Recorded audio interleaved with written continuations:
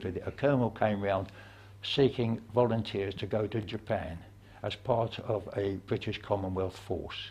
It was only to be 9,000 men and women, uh, all from uh, all over England and Gurkhas from, from India. And we immediately volunteered, and within uh, quite two couple of weeks, I think, we were on board a ship called the Arundel Castle, another smaller cruise ship, um, which had been converted again to a troop ship. And we sailed for Kure in Japan. um, didn't do so well on solo, uh, just about broke even, but uh, couldn't complain. And um, from Kure we were taken to Shikoku. You remember Shikoku? There were, I think, four islands or five, is it? Four. Four main islands. Four main islands. Well, Shikoku is sort of in the middle, isn't it? Yeah. And we were taken there by truck, uh, and we occupied a, a barracks which had been a Japanese naval barracks. But before leaving, they had uh, carried out what was known as, um, um, uh, oh dear, what's it called? Scorched earth policy. This was something that the, the Russians did uh, when the Germans were advancing.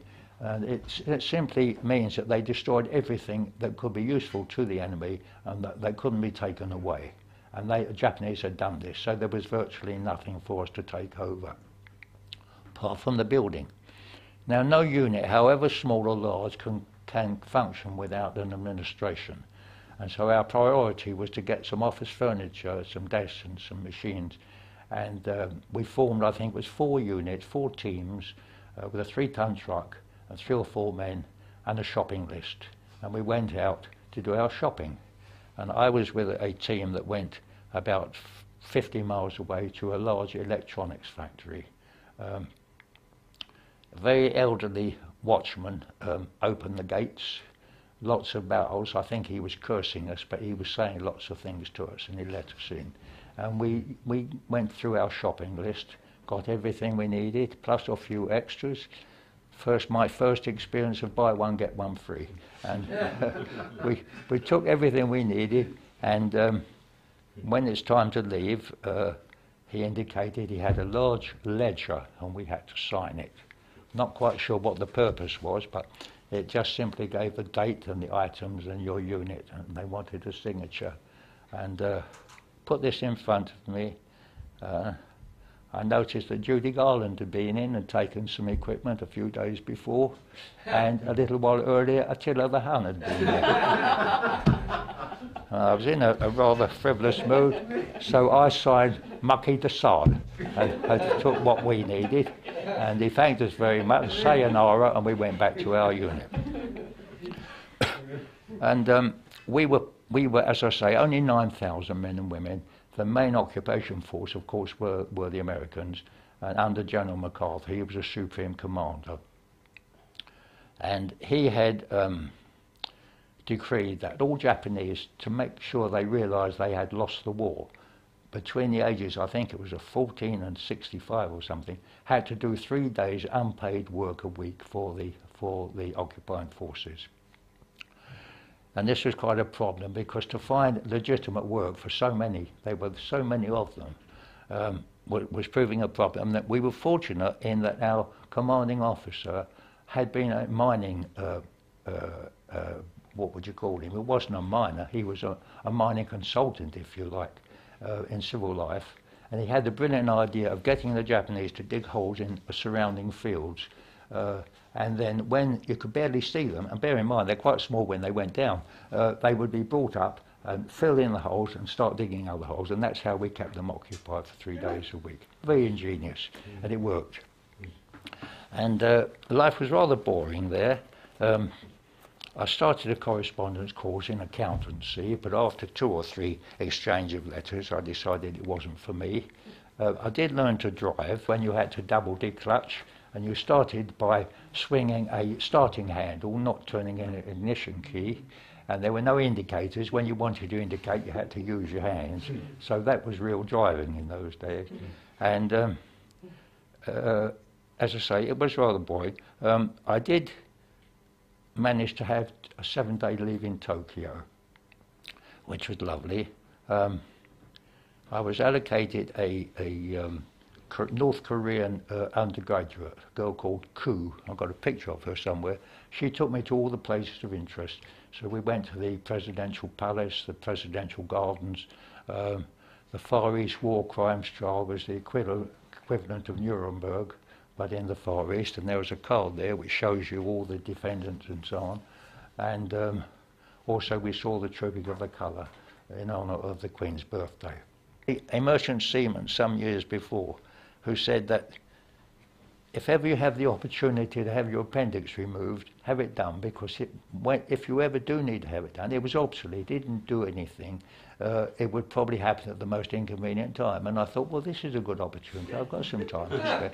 So I, I, I read up the, uh, the symptoms of a, a uh, an appendicitis, and a very reluctant medical officer referred me to a very even more reluctant surgeon, and um, I was admitted, and he agreed to do it. And uh, he took the appendix out, and uh, this is rather funny. The, the night after the operation, I wasn't sleeping too well, and the sister came round and said, "Would you like a cup of tea?" And I said, "Yes, please." Um, and she brought it, and then she started. And I was still semi-conscious. I, the operation, obviously, I'd had a general anaesthetic. She started talking about she'd lost a pickle, uh, a lost a gherkin. I thought, how can you lose a gherkin? And how important is that in the order of things? Then I realised she was saying she'd lost a gurkha because they had their own ward in the hospital.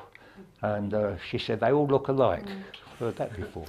Um, so uh, what should I do? I said, well, get in touch with the intelligence corps and they, they'll take it over. And she did. And this fellow was found wandering in the country three or four days later. He'd had a bit of a mental problem and they found him but the morning after the operation, the surgeon came round and he said it was the healthiest appendix he had ever taken out and offered it to me in a jar. And I said, thank you, but no thank you. We had the opportunity to visit Hiroshima, uh, which we all, all took, obviously. Um, the scenes were devastating. As far as the eye could see, uh, there was total destruction. Um, I've got photographs there that I took. Tremendous loss of life. Um, both on the day and for months afterwards. Um, and it caused a lot of illness. Um, but uh, there are a couple of artifacts here that I picked up off the ground, which were undoubtedly highly radioactive at the time, but nobody warned us. The Americans had been warned because they had to throw overboard any, any visiting ships. The, where the, uh, the sailors had picked up stuff, they had to be thrown overboard into the sea, but we weren't told, and we were allowed to keep these. Um, I can't let you handle them because they're getting rather fragile, and also the fact I cut myself on them last time I showed them. But this one here is a small bottle um, which had sort of half melted in the tremendous heat. And these, believe it or not, were small sheets of glass which are welded together. I'm not quite sure what the purpose of those was but um, they were certainly radioactive. Never affecting me, so my wife says. Uh, but I did have to take them to the National Physical Laboratory because at that time one of my grandsons wanted to take them to Sinai School and the headmistress wouldn't let him. Um, so she insisted that I took them to the physical laboratory. they carried out a series of tests and I've got a, a clearance certificate there when we were in Hiroshima, people were still walking around with these terrible radiation burns. And um, the problem was there was no known cure because uh, the atom bomb had never, atoms had never been used before in this way. Uh, and so some of the treatments that were being applied were quite bizarre. I mean, we heard of people having um, uh, mashed potatoes put on their wounds, which probably didn't do any good, but probably caused a lot of infection. Uh, but it was ghastly. And um, and so I'm sometimes asked whether I, I, feel that the Americans were justified in dropping the atom bomb. Uh, and my answer is yes, I think they were because some American experts had calculated that had we been required to invade the Japanese mainland, uh, there would have been one and a half million casualties. Fatalities, not casualties, one and a half million casualties. The numbers killed, although they were terribly high, and those that died afterwards, were nothing approaching that figure. So in that sense, I think it probably was justified. Other people, of course, argue that it wasn't necessary, that, that Japan was about to, to surrender anyway. but that's something we shall never know. and then um, eventually, Group 51 came up. We boarded a ship, um, which ghastly, and uh, a near riot took place. I've got press reports here of some men in the Devonshire Regiment. There was um, there were lice in the blanket. There was food in the. There were insects in the food. It was overcrowded. It was ghastly, and uh, some of them were um, arrested under the Riot Act and put in the ship's prison for um, uh, court-martial. because of this, we weren't allowed to land in Hong Kong on the way back, which we had been promised, uh, and we landed in Singapore and were taken uh, to a place in Malaya called Kluang. It was a real dump. There was no running water. We had to be supplied by water tanker. No electricity. We had generators. Um, and I don't know why they sent us there unless it was to sort of toughen us up after the cushy time we'd had in, in, in Japan. um, we weren't there very long.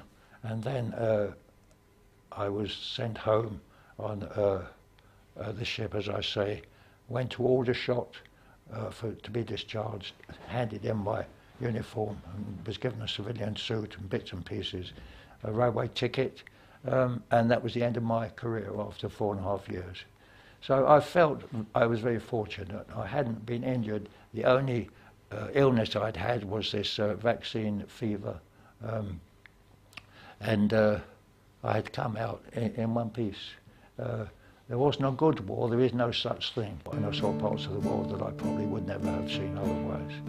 And that's it.